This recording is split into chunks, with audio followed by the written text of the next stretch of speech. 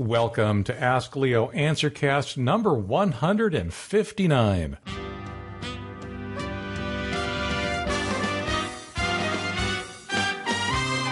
I'm Leo Notenboom, and I'll be answering questions that people have been asking out at AskLeo.com. Today's Answercast is brought to you by the best of Ask Leo. You know, I've been answering questions on Ask Leo since August of 2003, and in that time, I've answered quite literally thousands of questions. The Best of Ask Leo is a separate email subscription where, once a week, you'll get exactly what that name implies a complete article from the Ask Leo archives that I've hand selected as one of the best. These are the most important, the most popular, the most educational, the most helpful, you know, the best. Head out to bestofaskleo.com and sign up for your subscription today. Why do I need a computer? I surf, I shop, I follow auctions, I email, and I download photos from my point and shoot camera. I have an online bank account which receives my directly deposited pension check. I also occasionally use OpenOffice to compose and print a letter. That's it. No games, no design programs, nothing.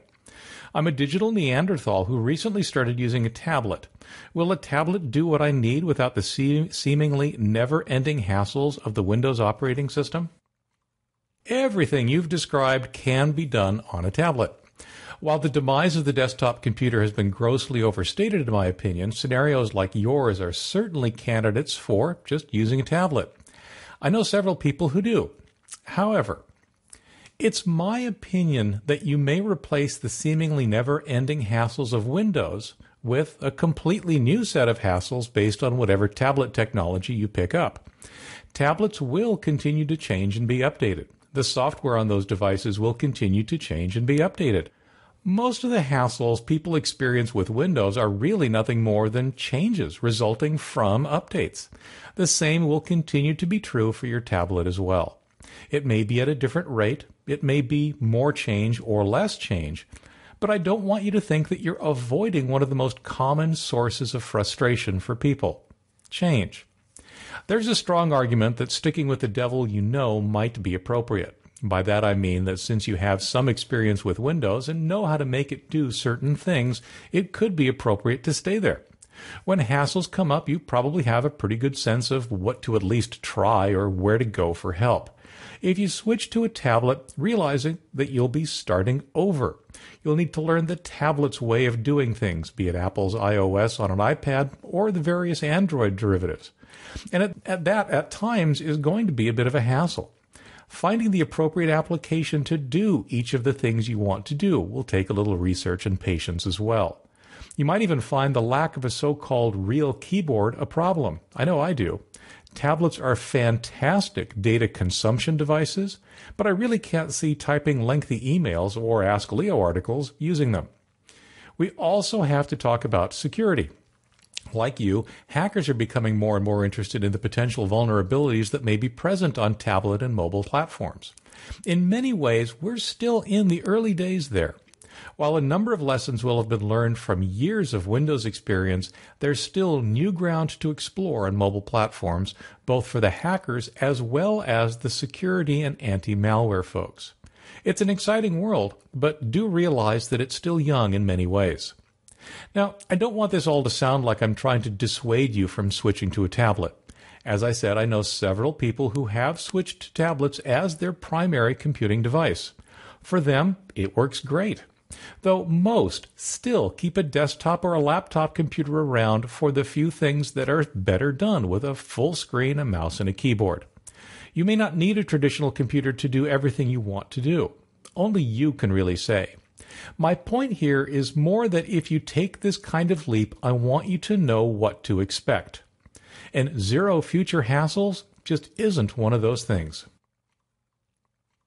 Here it is, many days after the demise of Windows XP support, and I'm still automatically getting updates. I've allowed them to be installed and nothing untoward has occurred. Do you have any insights into this? Yeah, I do actually. Several folks have been surprised to see updates still being delivered to their Windows XP machine. I can think of at least three separate reasons that might be happening, and in fact will keep on happening. The first one, of course, is that Internet Explorer was updated at least once recently after support supposedly ended.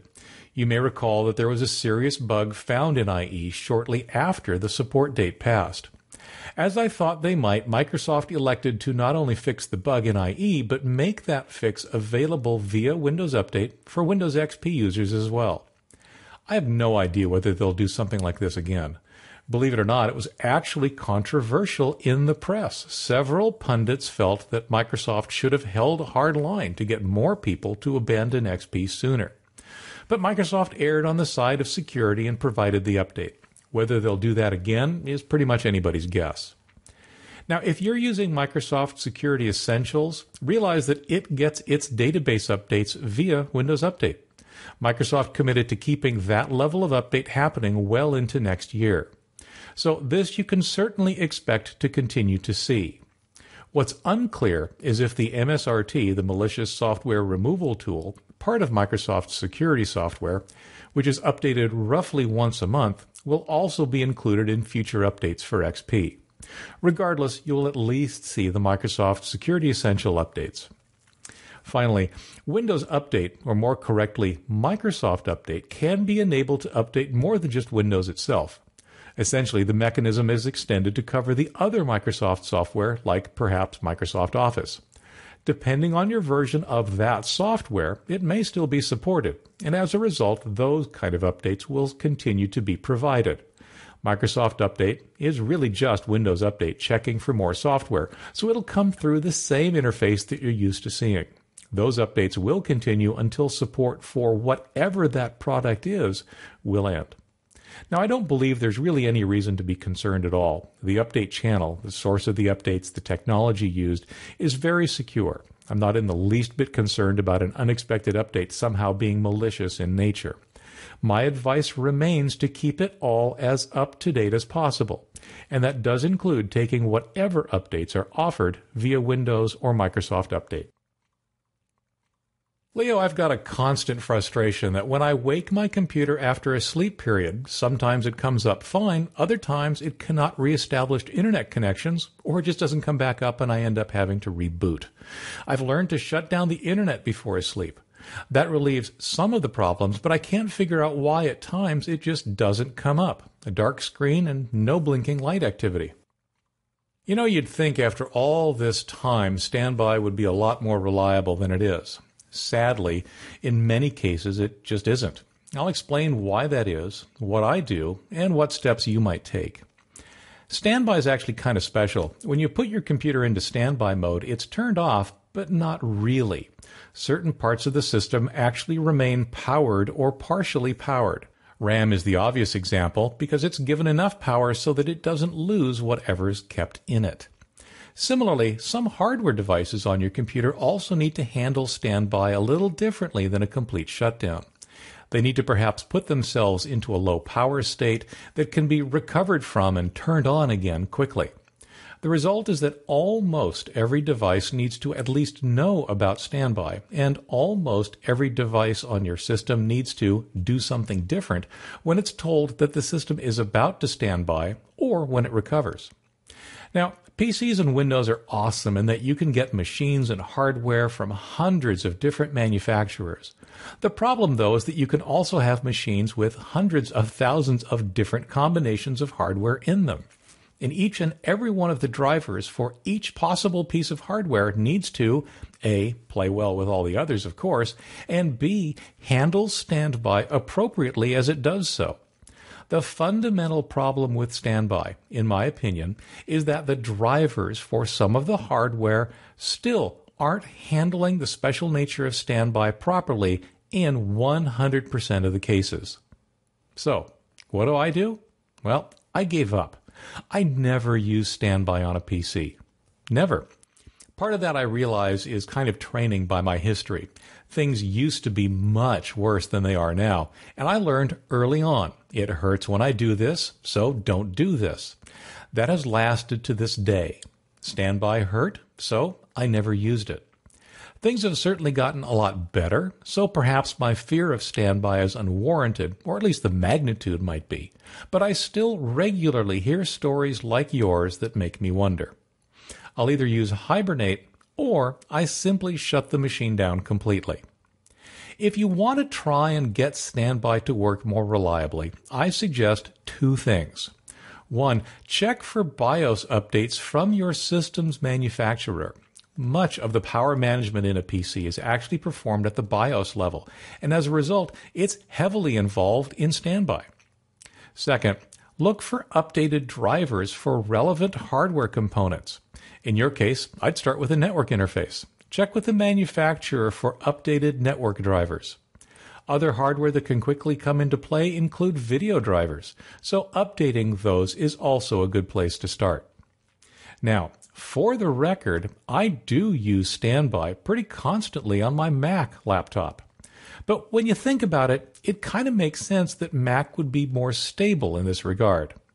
You don't have the option with a Mac of installing all sorts of different hardware that has to learn how to deal with everything. Instead, you have a single vendor with a very small set of hardware options. As a result, the software doesn't have to deal with nearly as many variations and can be more stable. What's the best antivirus program? There's been so much talk on just how each one works and which has the best protection, it's really hard to decide which one to choose. One day you might read a review that says one thing and the next day says another, so it really gets quite confusing. You know, this question comes up all the time. The problem is, is that it's both trivial to answer and it's impossible to answer. There's a strong argument for there being no objective answer at all. It's all about opinion. So, let me tell you mine. There is no best antivirus tool. None. There are several good ones, but none are perfect. And in fact, one that works well for your friend may not work at all for you. There are several problems at play here that make this an almost impossible question to answer. For one thing, as I said, there is no perfect antivirus tool. There just isn't. There is no tool that will catch absolutely every virus. The best you can hope for is one that will catch most, or even most is kind of up for debate. Second, different antivirus tools are written in different ways and actually impact different systems differently. One, for example, might use a lot of memory, but if you have a lot of RAM, it might be an awesome antivirus tool. If you don't have a lot of RAM, well, perhaps it'll slow your system to a crawl. And of course, what it means to have a lot of RAM will vary from machine to machine since different machines will have differing amounts of software installed on them. It'll also vary from antivirus tool to antivirus tool. And of course, the issue may not be RAM. Perhaps there's some other aspect of your system that different tools exercise differently, like perhaps the disk, the CPU, or perhaps even the network connection. As a result, different people with different machines will have different experiences, even with the exact same antivirus tool. It actually gets even weirder. There's no agreement on what is and is not a virus. Oh, sure, the big, hairy, obvious ones are, well, obvious. But how about foistware, spyware, toolbars, things that perhaps you even asked for? Different programs will make different choices.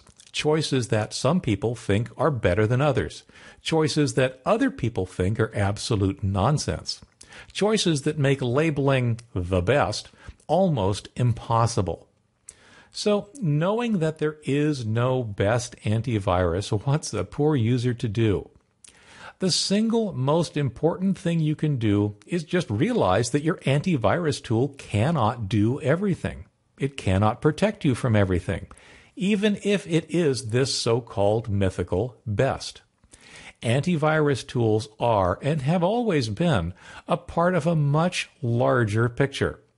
That picture includes Yes, a good antivirus tool, a good anti spyware tool, a firewall, keeping your software, all of it, as up to date as possible, securing your router and other hardware, and above all, behaving safely.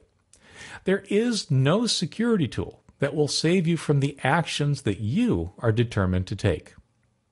And lastly, I will refer you to my article, What Security Software Do You Recommend for some specific programs to consider. Managing scanned documents. I've been using Visioneer scanners and Paperport since version 1. And ever since Nuance took over the software, well, it's been a disaster. Version 11 crashes multiple times for no apparent reason. The worst part is that I can't find any comparable program to replace it that can do everything it can do. I end up living with it, but it's really frustrating. What do you do? My document management approach has actually changed over the years. I used to very carefully and manually scan documents, name files, put them in organized folders, and so on. I don't do anything like that anymore. I've talked before about how I strive to be as paperless as possible. I get documents electronically wherever possible. Bills and receipts and much more come to me in the form of bits rather than on sheets of paper. One of the biggest reasons I do this is that I can do something with bits much more easily than I can with paper. I can back them up. With paper, unless you burn more paper with a copy machine, you have exactly and only one copy. With electronic documents, you can have as many copies as you care to create. I think for most of my electronic documents, about half a dozen machines in something like three or four states would all have to implode simultaneously for me to actually lose something. And those include not just my machines, but some that are owned by some pretty large companies. So, what do I do when I actually get paper? Needless to say, I scan it, but it's how I scan it and how I manage my documents after that where things get kind of interesting. I have a Fujitsu ScanSnap scanner. It's an older model, but it's worked solidly for several years now, and it's been worth every penny I paid for it. You can drop a multi page document into its feeder, push a button, and it'll proceed to scan both sides of the entire document with actually pretty amazing speed. Once it's done so, I typically shred the actual paper document for security. My thinking is that the recycle bin on my street is a lot less secure than my electronic document management techniques. When a document is scanned by my ScanSnap, it automatically runs OCR, optical character recognition. Remember, a scan of a document is really just a picture of that document. There's no text associated with that that a computer can use.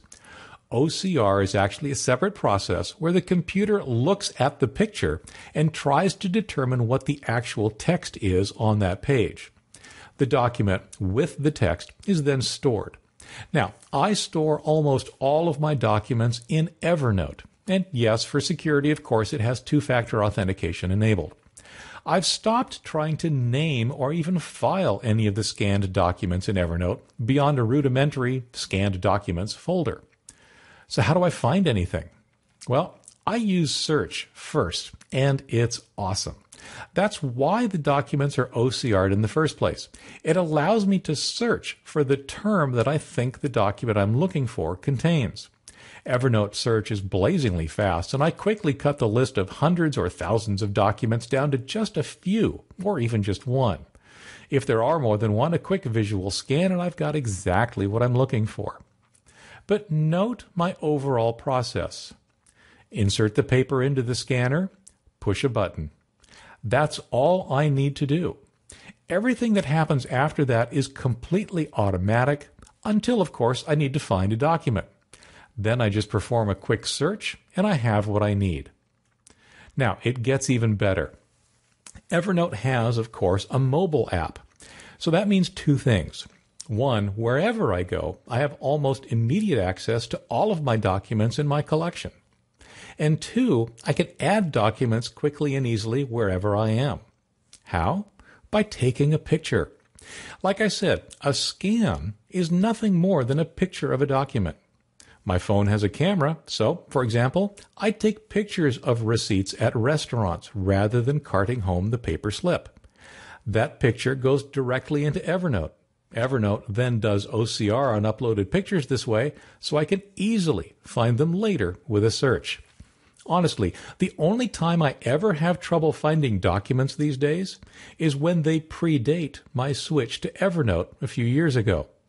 Then I have to go back to searching my old collection of folders and files. I have a Compaq Presario that I purchased new in 2006, which came preloaded with Windows XP. Due to the loss of support for Windows XP, I'm looking to purchase a new computer, but with limited funds available at the moment. My question is this if I do purchase a new CPU from HP, will my current CRT type monitor still be able to work with the newer computer? First of all, be aware the term CPU actually refers to only one chip that's inside the box. We typically refer to that box that I think you call a CPU as the computer, and the external monitor, the monitor. Will the old monitor work? Well, quite probably. It's not an unreasonable scenario at all. I'll review what you need to look for and what might you might be missing out on. The biggest issue you'll actually find is the connector. Your CRT most likely has a VGA style connector to take a VGA analog signal. Newer computers may not have such a beast. Most will have at a minimum the newer DVI digital connector for the digital interface. Some may even have an HDMI interface, which is actually the digital TV interface we're using these days, but which also works really well for computer screens. You'll need to find some kind of adapter. Exactly what adapter you need will depend on the video card in your new machine. If you can, confirm before buying that the video output will be capable of producing VGA. In that case, the computer might actually already come with a small adapter that you need. Connect the adapter to the computer, the cable to the adapter, and you could be good to go. If the computer cannot output VGA signals, then things get interesting you can look for a DVI to VGA conversion device. But at that point, you know, it might just be cheaper to bite the bullet and get a new monitor. But before you do that, you know, check your TV. Besides taking HDMI, many newer TVs also often support DVI directly. So, what I'm saying here is that if you can use your TV as a computer monitor, you may already have everything you need. And for the record, it is also possible your older CRT actually has a DVI connector, which would make all of this moot, of course. It would just work with your new computer. I just don't know how common that is. DVI connections became more popular with the digital signals and newer computers. Now, we also have to talk a little bit about screen resolution. That CRT that you have will have a maximum resolution of some sort. 1024 by 768 is one of the old common ones, but it could be as low as 800 by 600. That's something I think you need to check on. Windows, and perhaps more importantly, many applications, are now assuming a larger screen resolution, or they're at least optimized for these larger resolutions. For one example, I have had one of my virtual machine copies of Windows 8 configured to run as a 1280 by 720 resolution. That's the equivalent of HD 720p on most televisions, and actually not a bad resolution to work in at all. However, there are apps, specifically a few Windows 8 tiled apps, that simply will not run because the vertical resolution, that 720, it's too small. So they need something like 768 or better to even come up. So you might want to confirm that your old CRT will be capable of supporting those applications before you make the jump. That's it for another week. If you have a question about your computer, the internet, or technology, head on out to AskLeo.com to search for an answer or to ask your question. You might hear it answered here on one of my future Ask Leo Answercasts. Sign up for my newsletter. The weekly Ask Leo newsletter includes more answers and fixes and safety tips, opinions, and even the occasional rant. I always try to make it educational, informative, and hopefully even a little entertaining. I have several books that are available out at AskLeoBooks.com. From backing up to computer maintenance, Ask Leo Books can help. Most of the books include companion online videos, accessible only to those who've purchased the books, as well as digital downloads of each book in popular computer and ebook formats. Speaking of backing up, please do it. Seriously, just do it. I plug this every week because it's so important. Nothing can save you from almost any computer disaster like a proper and recent backup. Finally, I do have to let you know that all of my answers are based on my own personal experience and should be used entirely at your own risk. I just don't know you, your abilities, or the specifics of your machine, and those details can make all the difference in the world. The Ask Leo Answercast is a production of Ask Leo and is copyright 2014. Thanks for listening. I'm Leo Notenboom, and I'll be back soon with another Ask Leo Answercast.